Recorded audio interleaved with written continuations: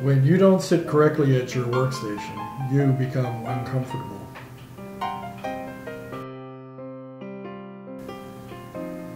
When you are uncomfortable at work, you develop a pain in the neck. When you develop a pain in the neck, you become a pain in the neck to your colleagues.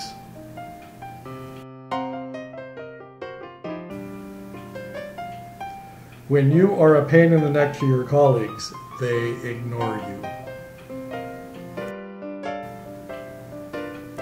When your colleagues ignore you, you develop strange habits and go unnoticed.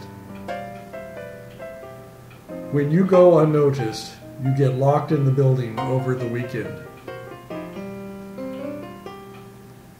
Don't get locked in the building. Make sure you are seated correctly by requesting an ergonomic evaluation.